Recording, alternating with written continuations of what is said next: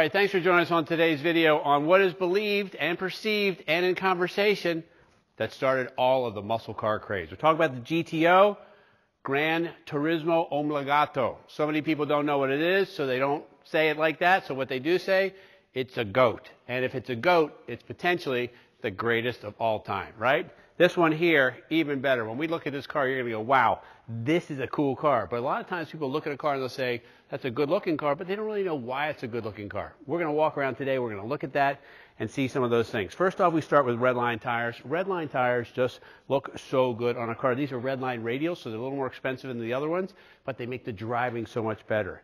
Nestled inside the correct uh, wheel covers here is disc brakes, right? These cars came with drum brakes back in the day. Uh, there were plenty to stop them, and uh, but this one's upgraded with disc brakes, and I think that uh, it makes a big difference this car is pretty fast, so you want to make sure that you can stop as well. I know that sounds funny, like of course I want to be able to stop, but some of these old cars didn't really have a lot of the things that you should be thinking about. We're going to look at that right now, and let's start with uh, uh, the paint because that's the place you want to be. Seeing your car rolling down the road, shiny and beautiful. All right, so I want to talk about the quality of paint for a minute. Under these harsh lights, you could tell when a car is not done well. That's why I like to do it here, okay? Look at how crisp each letter is on the car. I'm sorry, on the car, yes, in the paint. How crisp it is, how you can see everything that's in there. Get a video, man. You don't buy cars just uh, on pictures alone. Uh, we can always do a video of any car that we have here if there isn't one online yet, and uh, we can help you walk through it. It's the prep that goes to making a car beautiful. It's not the paint. You and I could paint cars, right? It's what goes on first. Then, if that's smooth, you'll know I'm telling the truth here when you, see, when you think about this. How many times have you fixed a nail hole in the wall, rushed it, then painted it, and you can still see it, right? It's all wrapped up in the paint. All right, let's take a peek under here because this is uh, where a lot of the magic is. You go to a car show and you open up the hood. This is a game changer. Not many people get to see a tri-power setup with the three two-barrel carburetors, right? And we have a lot of correct stuff too, like we have power disc brakes, but we have like this nice battery topper. Here's another correct piece here where we have two belts on here. So when you get the tri-power, the car makes more power, it revs faster, right? And would throw off the single belt. Because this car has power steering, you would want the dual belt system in case one of them broke, right? Because uh, if you've ever had the steering uh, belt go out on you when you're driving, it's a pretty scary thing to go from full power steering to nothing in a full-size car. And this kind of helps prevent all that. Restored radiator, GM hoses with the correct tower clamps on here. Just little detail stuff that, you know what, makes a big difference when you go to a car show or even if you just want to look at it in your own garage. Have beer, glass of wine, soda, whatever, just sit around here and just look at, wow, this is one cool piece. The fact that this is 2000, 2020, right? And this is 1964, uh, as we're approaching 60 years old. 60 years old, this thing's on the road, looking good, and uh, really, really a lot of happiness wrapped up in this car. All right, so we look at the back of the car. This is unmistakable Pontiac. Like this is their signature. This was a great looking taillight setup here where they painted this to make it look like the taillight went all the way across, right? Kind of cool. Then a lot of manufacturers struggled to find a place to put the filler cap in so they didn't cut a hole in the side of the car uh, with a flap here. Remember the 57 Chevy, right? The 50s tri-power Chevys, that, that uh, filler there. Here, they buried it right in here, which was kind of nice. They made a really nice little piece out of it. All right, this right here, we pulled up the trunk mat All right, so you can see how nice the trunk is. All detailed and painted. The ribs are nice and deep.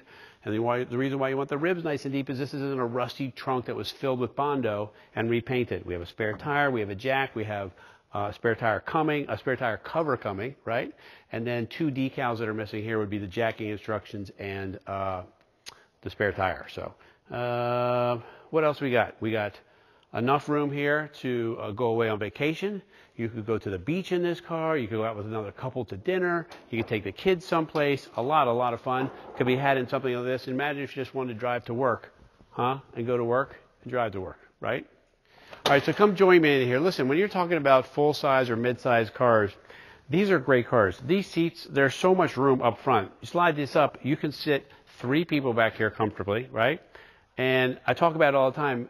When you own a car like this and you go out to dinner with another couple or you take the kids for a drive or, or something like that, it's uh, an amazing, amazing experience. It's just a game changer. Dinner tastes better. Fun with the kids is better.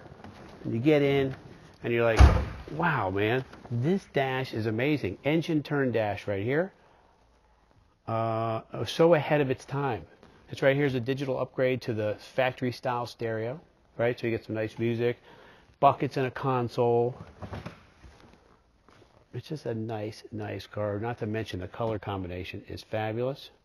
I sit in here and I go, wow, this is just amazing. We have a power top, we have power steering, we have disc brakes, nice stereo, great exhaust system, sounds even better.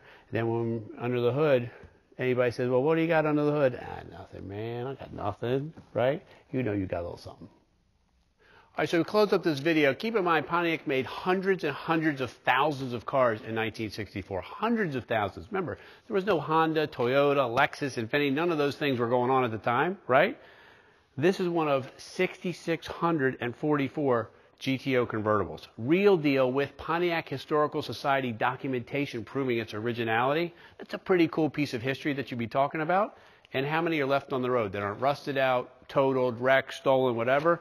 And here we are, uh, just a just an amazing era on a vehicle that started the muscle car revolution. Anyway, call us 301 816 1000. We'll tell you how to uh, find a way to get this in your garage. Don't forget to subscribe below if you would, and if you would share it with some other people, that would be awesome as well. And throw some comments in there, man. I'd love to hear about GTOs. I'd love to hear about the things that you did wheeling around, maybe some things you shouldn't have been doing. You can share that with me too and uh, we'll keep it PG rated when you say that, but I like it. Anyway, have a great day.